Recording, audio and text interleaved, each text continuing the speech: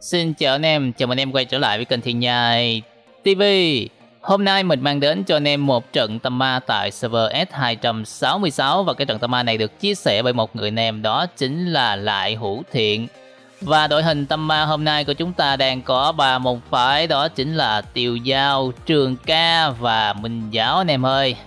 Hôm nay tôi chưa up mình Tiêu Giao nha anh em, nay nay lâu lâu mới lên lại một cái trận Tiêu Giao nha rồi, đội hình này thì rất là mạnh nhưng mà mình thì hơi quan tâm và cũng lo lắng đến cho bạn Trường Ca. Bởi vì team này thì tiêu giao quân Giáo chúng ta hoàn toàn có khả năng rời giao tranh rất là tốt anh em ạ. À. Chỉ có Trường Ca thì hơi vất vả lỡ như bị khống chế mà không được đồng đội hỗ trợ. Thì có lẽ là Trường Ca rất khó sống trong cái trận Tama này. Như vậy là hiện tại số đội trong bản đồ A chúng ta đang giảm đi một cách nhanh chóng từ 36 đội bây giờ chúng ta chỉ còn có 26 rồi. Chúng ta đã farm xong những con lính đầu tiên và bây giờ các thành viên của mình có tiếp tục di chuyển sang các khu vực khác để ăn hồi hay không? Khu vực thương nhân tại số 3 Bây giờ chúng ta tiếp tục mở nhẹ nhẹ một cái rương Và có lẽ là chắc chắn chúng ta sẽ di chuyển về khu vực số 2 này mà Quá nhỏ cho anh em, Một cái rương nổ. Bật thuận lên, chúng ta di chuyển vào. Rồi, lóc lên nè. Đó, chưa có thất thám mà ẩn lia ẩn lịa vậy nè em. Từ từ, bình tĩnh nào và như vậy là một tiêu dao đã quá đen đuổi khi mà chúng ta di chuyển đúng thời điểm tiêu dao đang bị yếu máu và mất luôn cái lượng né tránh anh em ơi. Như vậy các thành viên chúng ta có lẽ chuẩn bị di chuyển về thương dân rồi. Mình thấy là tiêu dao đã bán tài nguyên để lấy xu.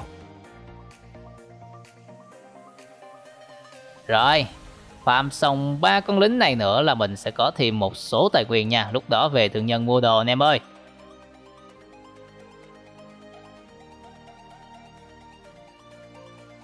Và như vậy là số đội lại tiếp tục giảm. Chúng ta còn 20 đội. Bật cái thuận lên trường ca ơi Chúng ta di chuyển vào. Lướt vào anh em mà không lướt vào lóc luôn. Thất thám ôi chưa có thất thám mà anh em vẫn thất thám như đúng rồi. Và như thế là chúng ta đã kết thúc được võ đen Sở hữu thì một quyển bí kíp phong quyển tàn vân. Bây giờ thì mình sẽ lấy quyển à, thất thám xà bàn. Ui ôi sao lấy con ngựa anh em? Trời ơi tiếc quá bà con ơi. Tiêu giao hai quyển quan trọng nhất đó chính là chiều thất thám và chiều đẩu chuyển tinh di nha anh em ơi. Anh em kiểu này muốn chơi cái chiêu gọi là bỏ của chạy lấy người. Đó, lấy con ngựa trước, cái ban dưới chuyển qua và tiêu giao đã né rất lẹ. Như vậy, cái quyển bí kíp tiếp theo tiêu giao mua đó chính là quyển đậu chuyển tinh di rồi. Chúng ta vẫn đang bị thiếu quyển bí kíp thất thảm anh em ạ. À. tuyệt quá anh em ơi. Có lẽ như trận này tiêu giao đang tạo một cái thử thách cho bản thân của mình. Đó chính là chơi một cái trận tâm ma không lên bí kíp thất thảm. Và như vậy, số đội hiện tại đang còn 14 đội và chúng ta chuẩn bị có ảo tượng xuất hiện. Bây giờ thì minh giáo của mình đã bị yếu máu. Và tiêu giao quay trở lại khu vực số 3 có huyền thủy cái bang lóc lên. Chưa có thất thám mà vẫn ấn thất thám như đúng rồi, anh em thấy không? Ok, anh em ơi, tấn công kìa, tấn công kìa. Ui ui, tiêu giao đã quay trở lại khu vực số 2 rồi xem ảo tượng đang ở đâu anh em ơi? Hiện tại chúng ta đã mất hết 20 giây. Ảo tượng khu vực số 8, số 7 và số 6 Như vậy các thành viên của chúng ta có di chuyển về ảo tượng hay không? Và các thành viên của mình lại quay tiếp tục về thương nhân. Ui ui ghé, ghé, ghé thương nhân anh em ghé thương nhân. Rồi xong luôn tiêu giao không ghé thương nhân rồi. Chúng ta lướt vào nào? Đó là huyền thủy và cây ban Như vậy chúng ta đã có thêm hai điểm hạ gục. Rồi quá tuyệt vời. Team này thì phải nói là mạnh như cây súng luôn anh em ơi. Minh Giáo và Tiêu Giao là hai môn phái có khả năng rất mạnh trong các trận tâm ma. Và chúng ta có một cái quân thể kim can Tiêu Giao mặc quân và di chuyển thẳng về khu vực số 12. Tiếp tục đó là khu vực số 13 Bên này có Thiên Vương, Cái bàn và một cùng lôn nữa em ạ Ui Hoa Sơn, Thiếu Lâm. Đổi đâu ra vậy? Thôi thôi thôi chạy chạy chạy chạy. Huy Thủy, à không Trường ca của chúng ta đang bị yếu máu rồi. Có lẽ là Trường ca vừa bị một tiêu dao đánh úp. Ôi Trường Ca ơi đừng chạy về khu vực số 13 rồi Xong Trường Ca đã bị khống chế Và Trường Ca đã lên bảng điểm số anh em ạ à. Không biết là Trường Ca có nghe được mic của các thành viên mình hay không Quá chia buồn cùng Trường Ca, Nếu như Trường Ca ở lại khu vực số 12 Thì chắc chắn là Trường Ca đã không tử vong Rồi, thôi, Trần Tâm Ma bây giờ nhường sân lại cho Tiêu Giao với Minh Giáo nha anh em ạ à. Hai môn phái có khả năng kết thúc rất mạnh trong Tâm Ma Chúng ta vừa kết thúc được một Long Uy Minh Giáo khu vực số 12 sẽ làm gì? Minh Giáo tiếp tục dồn đam và kết thúc luôn cả Thiếu Lâm Hoa Sơn em ạ. Như vậy đây là một team treo rồi. Bây giờ thì chúng ta đang còn 8 đội trong bản đồ tầm ma. Rồi, bây giờ thì anh em sẽ tiếp tục làm gì đây? Đó là mình sẽ tiếp tục farm lính. Hiện tại chúng ta chỉ còn khoảng hơn 40 giây cho vòng số 1 và có lẽ là các thành viên của mình cần phải di chuyển để à, chết thêm các tài nguyên để chuẩn bị cho vòng số 2 này mà.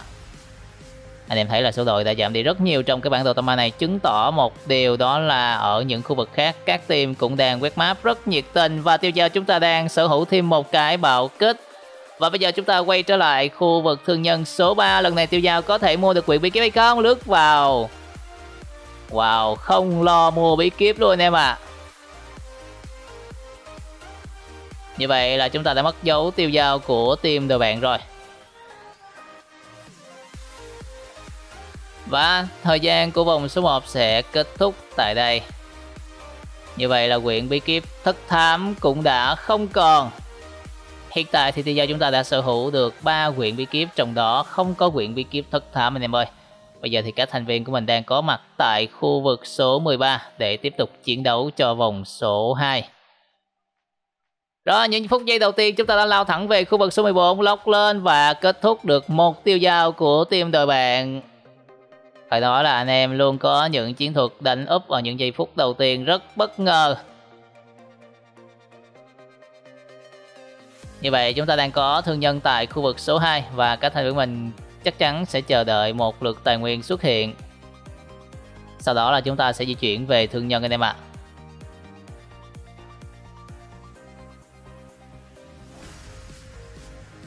Như vậy đã có một đội ra đi. Và bây giờ chúng ta đang còn 7 đội. Tài nguyên chúng ta đang rất nhiều rồi và các thành viên của mình đang cố gắng di chuyển về khu vực số 2. Rất trống. Có một cục lôn, Có cả trường ca nữa. Không có thất thám mà anh em vẫn cứ quen tài lóc xong rồi thất thám. Thói quen này bỏ nha anh em, Mình phải kiểm soát được kỹ năng nha anh em ơi. Như vậy là cung lôn một chấm máu Cung lôn lại tiếp tục thoát thân. Và như vậy là chúng ta quay trở lại thường nhân và Minh Giáo đang bị mất máu tại khu vực số 1 rồi anh em ơi. Minh Giáo một chấm máu, Minh Giáo có chạy được hay không? Tàn kiếm đang cố gắng đuổi theo và như vậy là Võ Đan đã kết thúc được Minh Giáo của chúng ta. Tiêu Giao vẫn tiếp tục lóc tim đồ bàn lên. Như vậy là Tiêu Giao đã không thể nào cứu được Minh Giáo trong tình huống vừa rồi anh em ạ. À. Như vậy là hiện tại bản đồ Tama chúng ta đang còn 3 đội, à không 5 đội anh em ơi. Và mình thấy thường nhân không có quyền bí kiếp tức thảm rồi. Kèo này không biết tiêu giao chúng ta sẽ xử lý như thế nào đây. Một trận tâm ma phải đối đầu với rất nhiều team và trong đó mình thấy có cả tàn kiếm nữa. Và tiêu giao chúng ta hiện tại vẫn chưa có quyền bí kiếp thất thảm. Không rõ đây là chủ nhân của cái trận Tama này cố tình không lên bí kíp tất thám hay là chúng ta đã sơ ý không lên được quyển bí kíp này, một quyển bí kíp rất quan trọng để cho tiêu giao solo. Chúng ta có quân và một team, hai team giao tranh, lóc lên. Rất tiếc là chúng ta không có điểm hạ gục rồi anh em ơi. Tình huống đó nếu như tiêu giao chúng ta có thất thám thì có lẽ đã tạo nên một kỳ tích mới hơn. Rồi rồi rồi rồi võ đen rất khổ bảo chúng ta lên né tránh, kéo nó lại, lướt nó một cái nữa và không định thân được tiêu giao như vậy là tiêu giao đã thoát về khu vực số 7 trong khi đó các chiến đội đã lên được quân hàm ỷ thiên thì tiêu giao chúng ta vẫn là quân hàm ngạo thế một cuộc chiến không hề cân sức. Và làm thế nào tiêu giao để có thể lật kèo được cái trận tâm ma này đây? Đấy rồi, có xuống ngựa không? Tàn kiểm lướt một phát và tiêu giao chúng ta lại tiếp tục lên né tránh nữa rồi, bây giờ thì chúng ta phải di chuyển để chế tài nguyên thôi. Mình đã bị thọt tài nguyên rất nhiều anh em ạ. À. Rất nhiều tài nguyên bị thọt. Tiếp tục mở rương. Trời ơi, rương nổ luôn và ảo tường xuất hiện rồi. Bây giờ chúng ta đang di chuyển về khu vực số 15. Tài nguyên đã bị team khác chết và chúng ta di chuyển về khu vực số 5. Cẩn thận có giao tranh nha. Chắc chắn là có rồi. Như vậy là đó là một team võ đen với tàn kiếm, đội hình đỏ rất chắc, anh em ạ. À. Bây giờ chúng ta di chuyển về khu vực số 8. Số 8 có một tiêu dao.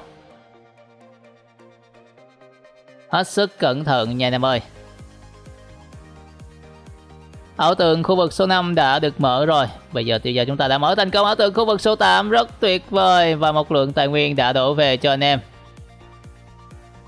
đó là một cái quân thể kim cang có thể là khu vực số 6 sẽ được di chuyển đến không có người tiếp tục di chuyển về khu vực số 5 và bên này có giao tranh rồi. Đó là một team tiêu dao tàn kiểm và vỏ đàn. Em ạ, lướt một cái vỏ đàn đã bị chúng ta kết thúc. Quá đẹp. Mặc dù không có được bí kiếm thất thảm, nhưng chúng ta vẫn có bạo kích để hỗ trợ lại lượng đam. Rồi, quá tuyệt vời luôn em ơi. Ghé thương nhân mua cường hóa luôn anh em ạ. À. như vậy là với điểm hạ gục vừa rồi, mà chúng ta đã có rất nhiều tài nguyên về cho tiêu dao mua luôn đi anh em mua luôn đi anh em. Bây giờ mình đâu còn cái gì để mình mua nữa đâu anh em ơi. Không còn tăng cấp bí kíp cũng không còn bí kíp bắt buộc là mình phải mua ngọc thôi. Bây giờ thì, thì giờ chúng ta đang cố gắng mở những cái rương để tiếp tục kiếm tài nguyên về cho bản thân của mình.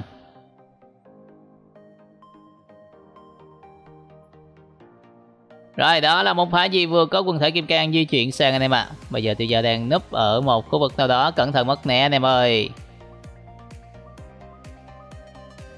Hiện tại trong bản đồ tầm 2 chúng ta vẫn còn 5 đội và tiêu giao vẫn tiếp tục di chuyển để chết tài nguyên.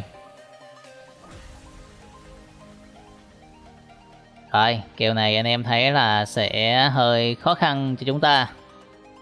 Một thân một mình, không có quyển bí kíp hỗ trợ. Tiếp tục có quân thể Kim Cang. Và chúng ta di chuyển về khu vực số 3, tiếp tục đó là khu vực số 4 luôn em ơi. Rồi, chạy tới khu vực số 5 rất trống và sang khu vực số 6 Wow đang tuyệt với cái quần thể kim cang này rồi, chúng ta chưa phát hiện được thêm một team nào nữa cả. Như vậy là tiêu giao đã quay trở lại khu vực số 7 nhưng không ghé thương nhân anh em ạ. À. Chúng ta tiếp tục di chuyển để chết tài nguyên. Đây, một tiêu giao. Tiêu giao có bạo kích nha. Kéo lại lóc lên. Tiêu giao đã dính lóc chúng ta rồi, Nhưng không đủ đàm để kết thúc Và tiêu giao đã thoát thành công lại một tiêu dao khác xuất hiện nên em ơi. Như vậy là hiện tại có đến hai tiêu dao lẻ và như vậy chúng ta còn bốn đội trong bản đồ tâm ma như vậy là vòng số 2 đã kết thúc rồi và bây giờ chúng ta đang có mặt tại khu vực số 5 để tiếp tục cho vòng số 3 một cái bầu kích mới cho tiêu dao. Bây giờ chúng ta cần phải di chuyển thật nhanh về thương nhân và chúng ta có quân thể kim cang thương nhân khu vực nào? Có lẽ tiêu dao đang chờ đợi thương nhân đó là khu vực số 4 Có tim đó là cây ban và tàn kiếm anh em ạ. À. Tiếp tục thức thám trời, không có bí kíp mà vẫn thức thám như đúng rồi anh em ơi. Nhớ kiểm soát kỹ năng của mình nha. Rất quan trọng anh em ạ. À. Và cuối cùng thì bây giờ đã có được cho mình quyển bí kíp thức thám. Mừng quá. Bản đồ vẫn còn tàn kiếm và rất nhiều tiêu dao. Bây giờ chúng ta sẽ làm gì đây anh em ơi? Tiếp tục di chuyển. Tiếp tục chết tài nguyên Rồi, up lên chí tôn. Tiếp tục ghé thương nhân luôn không? Tiêu vào khu vực lốc lên. Rất nhanh tay đội bạn cũng đã lốc chúng ta. Cả hai đều dính lốc với nhau anh em ạ. À. Wow, hình như là, Không, đó là hình như là, Mình thấy là ố ồ Cái tài nguyên vừa hiện lên là từ đâu ta? Trong bản đồ vẫn còn bốn đội, không có điểm hạ gục. Bây giờ chúng ta di chuyển về khu vực số 4 nào Đội bạn đã di chuyển về khu vực số 3 rồi Và chúng ta chuẩn bị có một phát lướt. Không được rồi, Đội bạn đã di chuyển rất nhanh. Đây là tăng kiếm. Cẩn thận nha em ơi. Chiều dài đằng lắm lé tăng kiếm lóc tăng kiếm lên rồi. Tiếp tục là thất thảm, không nhất bổng được Nhưng có kết thúc được không? Có cả một cái bàn nữa em ạ. Như vậy là tăng kiếm đã thoát được với phát lóc vừa rồi. Bây giờ chúng ta đang chờ hồi combo. Tiêu gia vẫn đang bám sát theo tàn kiếm. Những lối di chuyển rất lắc léo và cực kỳ khó hiểu và đặc biệt là nhân vật chính chúng ta rất nhanh tay với những phát lóc cực kỳ chuẩn xác anh em ơi. Bây giờ chúng ta đang chờ đợi tài nguyên mới xuất hiện và tiêu gia đã có một cái bao kết rồi. Tàn kiểm với cái bàn lại tiếp tục di chuyển về khu vực số 5 và họ vẫn chưa phát hiện chúng ta. Tiếp tục lóc lên, lần này thì cây bàn đã lên bảng điểm số một phát đẩy ba quyển tầng copy kiếp, lướt một cái, kéo một cái nữa, nhưng tàn kiếm đã chạy thành công Bây giờ chúng ta sẽ di chuyển về khu vực nào đây tiếp tục có lẽ là mình sẽ bám theo tàn kiếm rồi anh em ạ. Đó là một tiêu dao. Chúng ta đã bị tiêu dao cấu né. Bây giờ những bước di chuyển của anh em phải cẩn thận nha. Lướt vào, lóc lên, tàn kiếm đã lên 7x Và đây chúng ta đã bị mất máu rồi. Nên mà tàn kiếm có làm được điều đó hay không? Như vậy là chúng ta thoát thành công. Tiêu dao xuất hiện. Và rất may là tiêu dao đã không có một pha ăn hôi về team của chúng ta. Nguy hiểm thật sự lại gặp tiêu dao nữa rồi. Kèo quá khó cho anh em. Những giây phút cuối cùng. Tàn kiếm với việc bung 7S đã làm cho tàn kiếm hồi phục lại lượng máu của mình. Bây giờ thì chúng ta cần phải tiếp tục cấu máu tàn kiếm thôi anh em ơi. Như vậy là ảo tượng đã xuất hiện.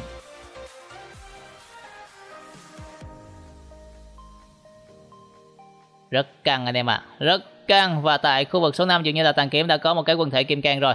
Tàn kiếm đã di chuyển về khu vực số 6 Tàn kiếm đã mất chiều cuối. Như vậy, theo suy đoán của mình hiện tại, trong bản này, bản đồ này có đến hai tiêu dao anh em ơi. Lóc lên! Tiếp tục tất thảm. Phải nói là anh em lóc cực kỳ lẹ, quá lẹ anh em ạ. À. Rồi, anh bạn tàn kiếm chúng ta vẫn là quân hàm. Ỷ thiên, Có lẽ tàn kiếm nãy giờ đã bị câu máu rất nhiều Và như vậy đã có một team nữa lên bảng điểm số. Khả năng đó chính là tiêu dao Tàn kiếm xuất hiện và tàn kiếm đã lên được quân hàm chí tôn rồi nha. Cẩn thận nha anh em ơi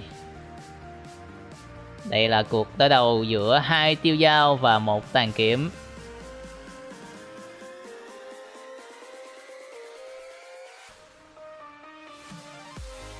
Tàn kiếm xuất hiện, tàn kiếm đã quẹt.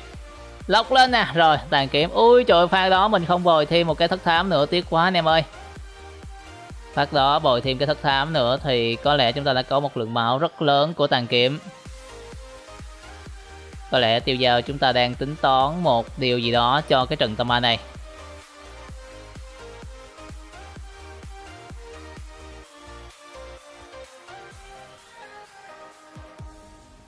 Hiện tại vòng số 3 của chúng ta đang còn 1 phút 10 giây nữa là kết thúc rồi Và tiêu giao lại mất né. Chúng ta tiếp tục di chuyển và đây là lượng tài nguyên cuối cùng nha anh em ơi Một cái tấn công. Một cái tăng kháng. Rồi tiếp tục di chuyển để chết tài nguyên Như vậy là những khu vực khác đã bị chết tài nguyên. Đó là tàn kiếm, tàn kiếm đã cấu nẻ được tiêu dao Và tiêu dao đã bị mất khoảng 40% máu anh em ơi. Những giây phút cuối cùng của vòng số 3 đang cực kỳ gây cấn và nguy hiểm cho tiêu dao và nếu như tiêu dao không, không cấu máu được tàn kiếm thì có lẽ là tàn kiếm sẽ câu thế ở vòng cuối cùng.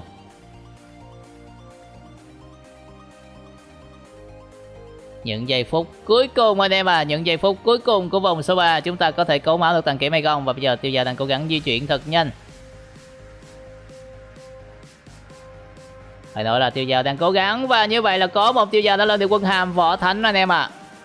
Lại một kèo khó nữa cho anh em. Và như vậy là thời gian của vòng số 3 đã kết thúc Và chúng ta chuẩn bị bước về vòng cuối cùng. Một trận đấu không phải tiêu giao lên võ thánh mà dường như là tàn kiếm lên được võ thánh thì phải. Như vậy là tiêu giao đã có cái quân thể kim cang rồi, Lần này tiêu giao đã quyết định xử lý tàn kiếm. Hai bên đánh nhau thì chúng ta hưởng lợi, Tàn kiếm đang bị cổ máu, Tàn kiếm đã bung 7x rồi. Wow! Cảm ơn tiêu dao rất nhiều. Hai bên đang chụm lại, chúng ta lóc lên. Lóc trúng cả hai luôn em ơi. Tàn kiếm đã lên bài điểm số Và có lẽ chúng ta đã cũng đã cấu một lượng máu rất lớn của tiêu dao team đôi bạn. Tiêu dao team bạn đang phản đam. Một chấm máu, Cả hai đều một chấm máu, rất nguy hiểm. Chúng ta chuẩn bị hồi chiêu lướt. Và như vậy cuối cùng thì kết quả cũng đã có anh em ơi. Một trận tơ ma cực kỳ gây cấn ở những giây phút cuối cùng. Rất khó đoán được những tình huống đó. Phải nói là rất cảm ơn tiêu giao đã làm cho chúng ta một điều gì đó với tàn kiếm. Và nếu như anh em yêu quý trận tâm này, hãy cho mình xin một like nha. Và đừng quên đăng ký kênh của mình để theo dõi video tiếp theo. Mình xin chào và hẹn gặp lại anh em ở những video sau.